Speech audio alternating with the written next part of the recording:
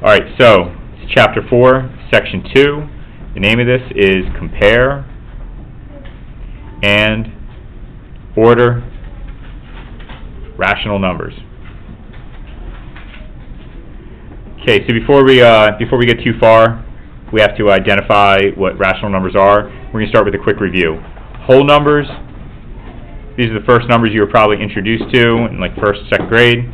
Um, whole numbers are things like one, two, three. Integers.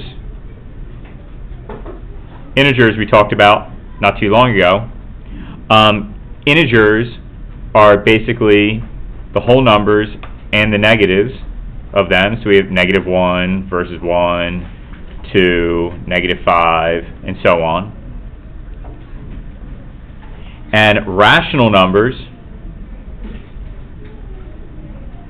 rational numbers are numbers that can be, doesn't mean they have to be, but can be expressed as a fraction. So basically, rational numbers are all the whole numbers, the integers, and also the numbers that can be written as a fraction. So things like 20%, because 20% is really 20 over 100. Decimals, 0.8, 8 tenths, that can be written as a fraction. Things like 5, 5 can be written as a fraction, 5 over 1. Next thing we need to review and go over um, in order to compare and order rational numbers is common denominator.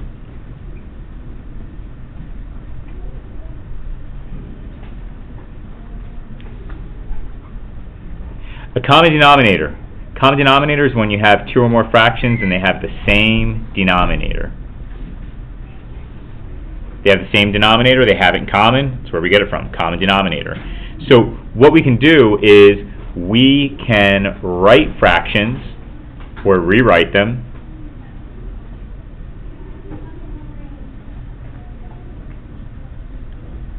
so the denominator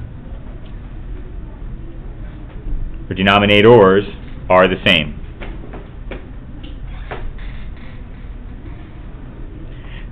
So, for example, let's say we needed to compare 3 fifths and 8 over 15, 8 fifteenths. Well, what we can do is we can rewrite these fractions. They'll still have the same value, but we'll rewrite them with different denominators so they're easy to compare. The fractions, each one of these fractions will still be worth the same amount. It's just like if I wrote 1 half and then I rewrote it as 5 over 10, half a pizza or 5 out of 10 slices, either way it's the same amount of pizza. So this is the same value, it's just rewritten. These are equivalent. So we're going to rewrite an equivalent fraction here so that these have common denominators. Now, there's two ways to do this. Easiest way to do it, just to get a common denominator alone, is look at your two denominators and just multiply them. For example, if I look at these two denominators and I say, okay, 5 and 15. 5 times 15, and that equals 75. So I'm going to rewrite these both with denominators of 75. Now, how do I go from 5 to 75? I multiply by 15. And if I multiply by 15 here, what I do on bottom, I have to do on top. So 15 times 3 is 45. Yep. And over here, 15 times 5 equals 75. Well, if I multiply by 5 here, I have to multiply by 5 here. And 8 times 5 is 40. So now that I have these rewritten with the same denominators, I can easily compare it. Would I rather have 45 out of 75 slices of pizza or 40 out of 75? Would I rather have this? So this is bigger. Now, that's with common denominators. Another way you can do it is with what's referred to as the least common denominator.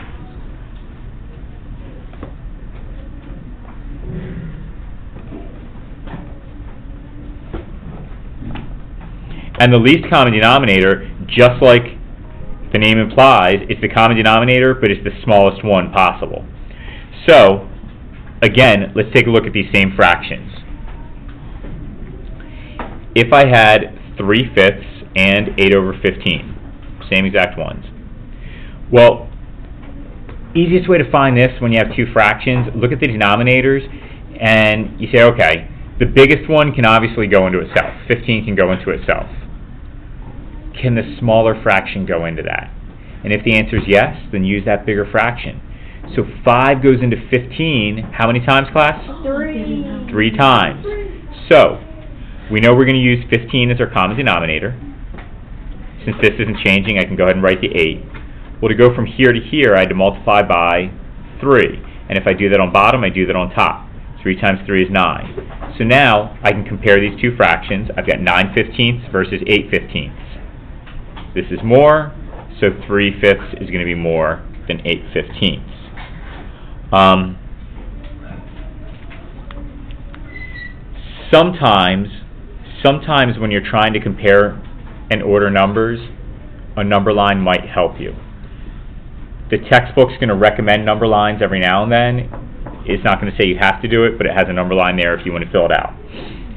Basically, what you need to know when you're comparing and ordering things is this one rule. The greater number is always to the right on a number line. And I'll explain what I mean.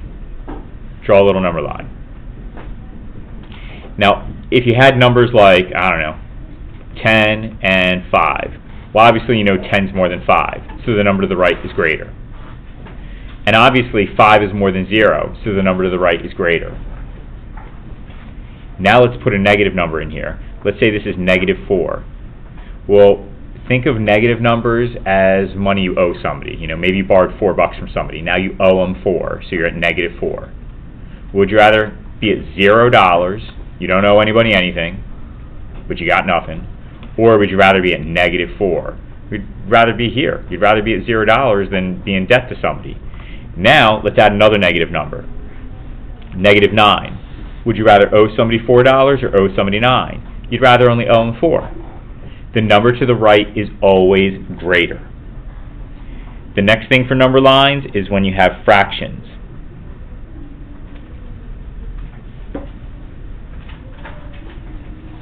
Let's say we wanted to graph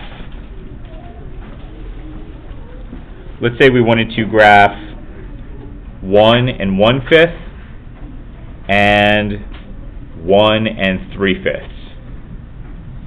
Okay? Well, both numbers start at 1, and then it goes up by fifths until we get to 2. So this next increment, let's say this would be 1 and 1 fifth.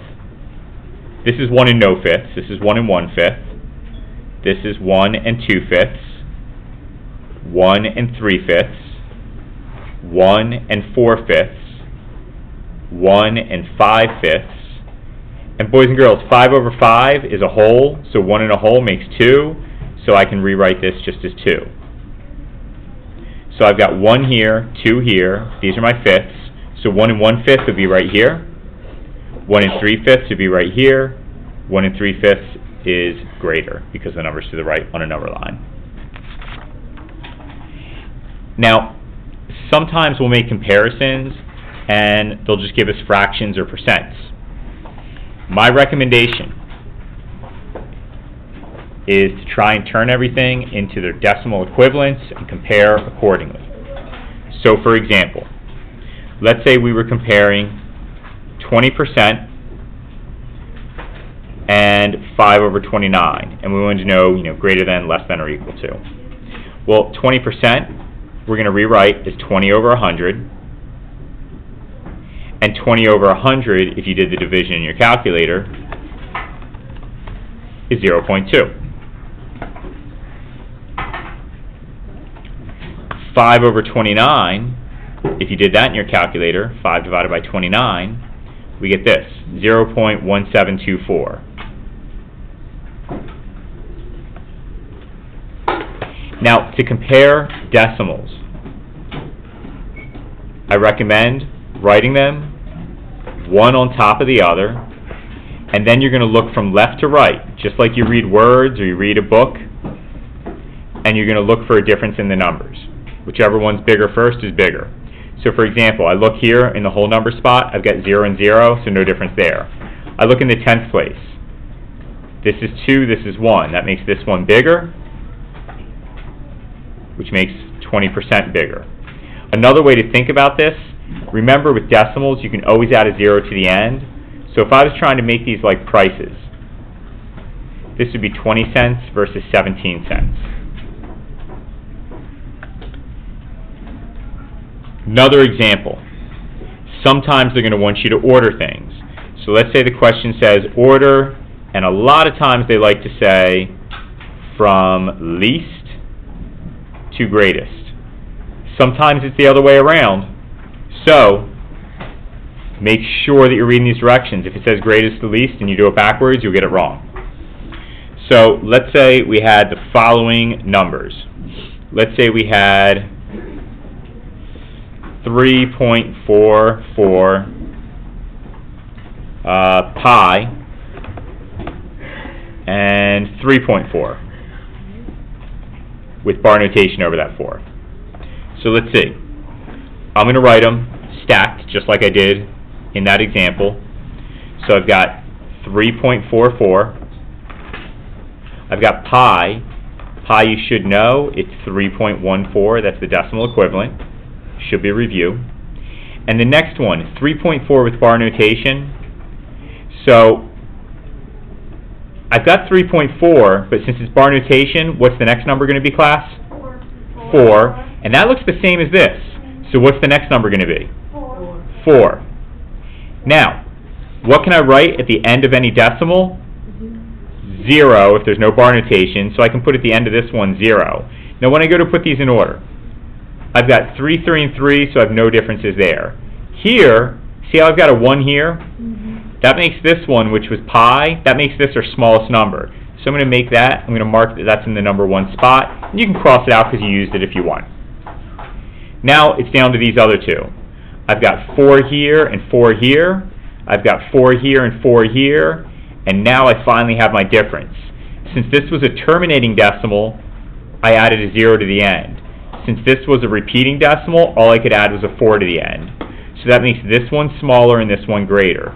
So this would be in the number 2 posi uh, position, the number 2 spot, and this would be in the number 3 spot. So the correct order from least to greatest is going to be pi, then 3.44, then 3.4 with bar notation. And that is how you order rational numbers. And that's how you compare and order them.